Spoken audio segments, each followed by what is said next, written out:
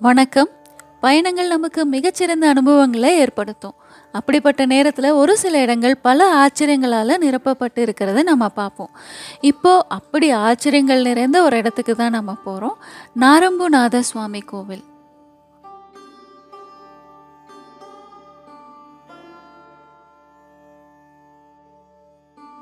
அம்பா சமுத்திரத்துக்கு பக்கத்தில் இருக்கிற திருப்புடை மருதூரில் சிவபெருமானுக்கு அர்ப்பணிக்கப்பட்ட இந்த கோவில் கடனா மற்றும் தாமிரபரணி நதிகள் சங்கமிக்கும் இடத்துல அமைந்திருக்கு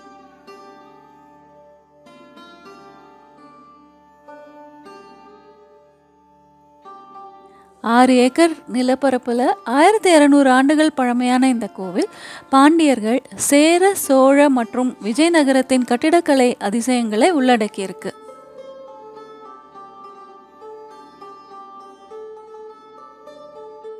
பக்தர்களோட நம்பிக்கையின்படி இந்த கோவிலுக்கு வந்தால் தங்களோட தீராத நோய்களும் குணமாயிடும்னு நம்புகிறாங்க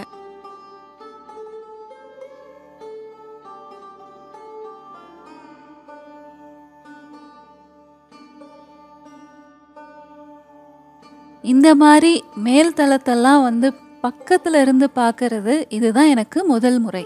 கோவில் கோபுரத்துக்குள்ளே போக அனுமதி கிடைச்சது ஒரு வரமாக தான் கருதுகிறேன் வழக்கமாக இந்த கோபுர சிலைகளை எல்லாம் வெகு தொலைவில் இருந்து தான் அண்ணாந்து பார்ப்போம். ஆனால் இன்னைக்கு ரொம்ப பக்கத்தில் இருந்து பார்க்க முடிஞ்சது.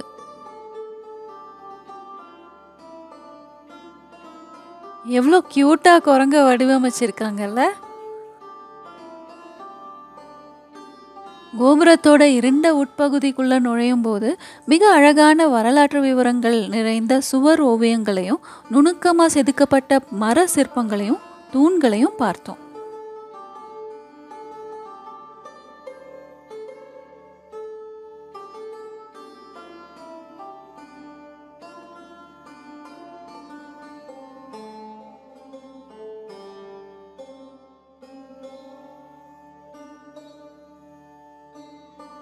அஞ்சு நிலைகள்லையும் பல நூற்றாண்டுகள் பழமையான ஓவியங்கள் இருப்பதை பார்க்க ரொம்ப ஆச்சரியமா இருந்தது.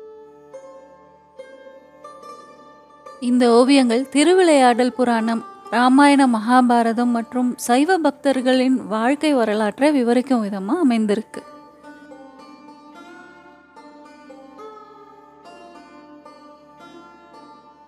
திருஞான சம்பந்தர் வாழ்க்கை வரலாறு தொடர்புடைய அனல்வாதம் மற்றும் புனல்வாதம் பற்றிய சித்தரமைப்புள்ள ஓவியங்களை நாம் இப்போ பார்க்குறோம்.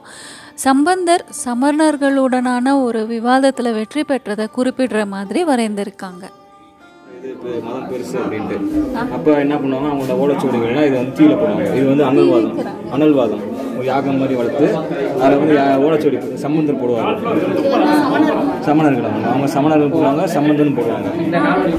ஆமாம் இது நால்வர் சம்பந்தர் நால்வர் ஒரே ஒருத்தர் ஆமாம் சம்பந்தம்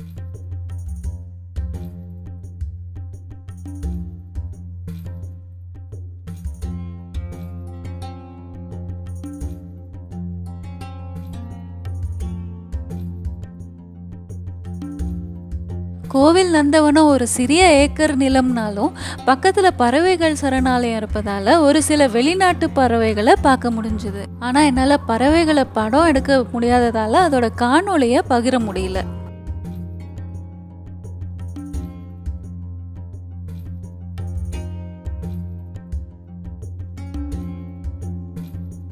இங்கே பொது நுழைவு இல்லாத காரணத்தால் இந்த சிற்பங்கள் மற்றும் ஓவியங்கள் நல்லா பாதுகாக்கப்பட்டு இருக்குது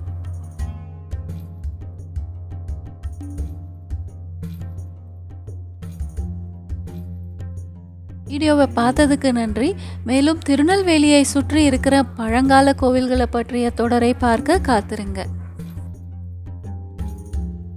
இந்த காணொளி உங்களுக்கு பிடிச்சிருக்கும்னு நம்புகிறேன் என்னோட இந்த முயற்சி இன்னும் நிறைய மக்களுக்கு சேர்வதற்கு இந்த வீடியோவை லைக் பண்ணுங்கள் மற்றும் ஷேர் பண்ணுங்கள் சப்ஸ்கிரைப் பண்ணலைன்னா மறக்காமல் இப்போவே சப்ஸ்கிரைப் பண்ணுங்கள் this is LRK signing off ப பாய்